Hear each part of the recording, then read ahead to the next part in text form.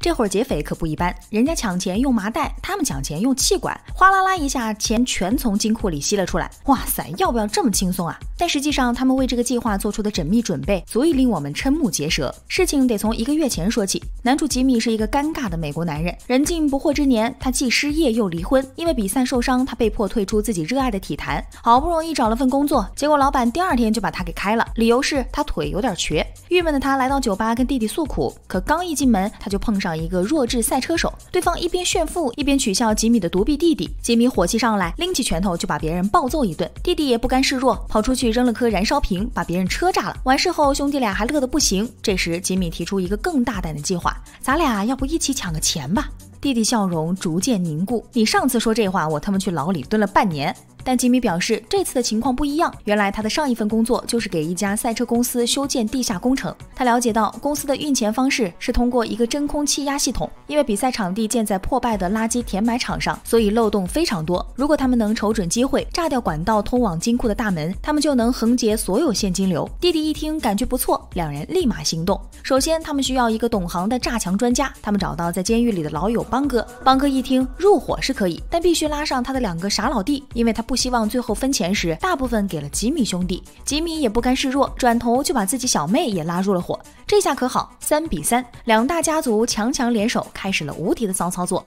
这伙人为了抢钱，可谓是煞费苦心。首先，弟弟自我牺牲，他驾着辆车撞进杂货店，然后被判刑一个半月。他来到邦哥的监狱，开始暗中帮助邦哥制造越狱的木箱。另一边，小妹等人给一群蟑螂标上颜色，他们趁晚上潜入工程现场，把蟑螂送进管道系统内。第二天，他们往金库办公室寄了个蛋糕，转眼间蟑螂就被吸引了过来。邦哥两傻老弟装成清洁人员进入，记下了蟑螂的颜色。原来他们搞这个操作是为了得知哪些管道能够通往金库。很快，行动那天到了。首先是邦哥那边，他故意喝岛国传来的污水，把自己搞吐进了医务室。接着，在医务室拖地的弟弟立马把他带进厕所。此时，邦哥的囚犯伙伴为了帮助他，在狱内引发了一场暴动，一时间监狱内被封锁起来。由于进不去医务室，邦哥和弟弟获得了极佳的逃离机会。他们溜到室外，通过伪装木箱倒挂在运输车底，成功逃出了监狱。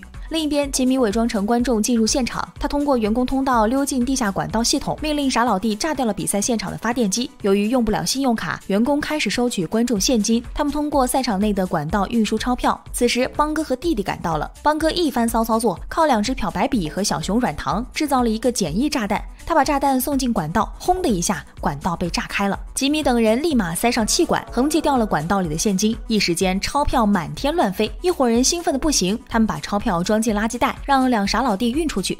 但这时，员工发现了管道冒烟的事儿，他们通知了安保室，对方派了两个人来查看，结果迎面撞上傻老弟。傻老弟紧张的不行，声称自己没闻到烟。那个，我还没问呢。不过还好，由于傻老弟看起来不大聪明的样子，保安并没有生疑，放他们走了。可是刚溜到门口，第二个问题来了，门竟然卡住了。前来查看老弟的邦哥有点头疼，三个人怎么捣鼓都没整好。这时吉米忽然神秘出现，他在门底部一番操作，声称是链条卡住了，然后把门打开，放出了小老弟。很快回去后的几人开始准备撤离，邦哥和弟弟通过员工通道离开。此时距离赛车比赛结束还有两分钟，监狱内的伙伴一看情况，立马用烟雾引发报警器，监狱附近的消防站立即出动。邦哥和弟弟则伪装成消防员，成功混回了监狱内。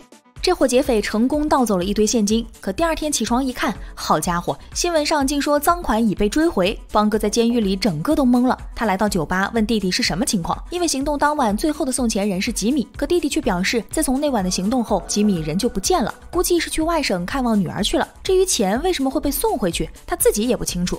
邦哥有点无语，这他妈整了半天玩人呢。他郁闷的在家待了几天，忽然门外响起敲门声，他出门一看，人没有，倒是有把铲子迷惑的放在角落。邦哥瞬间秒懂，他拿着铲子来到花园狂挖，找到了当时的一袋钱。那么这到底是怎么回事呢？原来在行动之前，吉米一直留了一个心眼。为了不让邦家兄弟私吞所有钱，他故意在出口处卡上链条，耽误了邦哥时间。趁此时机，他让小妹和弟弟疯狂装钱私藏起来，通过赛场的熟人用卡车运出去。而吉米最后还回去的钱，则是邦哥傻老弟先运出的钱。因为行动当天，赛车公司没有时间清点自己的现金，所以吉米还回去的数额，赛车公司也不知道是不是全款。但由于已经被盗，赛车公司便能够通过敲诈从保险公司获得巨额赔偿。这样一来，公司便不想追究吉米是否有自己留钱，从而也不肯配合 FBI 调查。正是吃准了对手这种心理，吉米得以摆脱追捕。不过道义有道的他，在给自家三兄妹拿到钱后，依然给邦哥分了一部分应得的钱，同时他还给所有计划中有意无意给他们提供了帮助的人寄去了现金。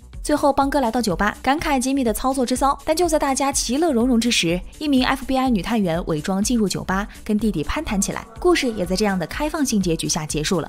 好了，今天节目就到这里。这部操作秀到爆炸的电影叫做《神偷联盟》，欢迎关注科幻战舰，我们下期再见。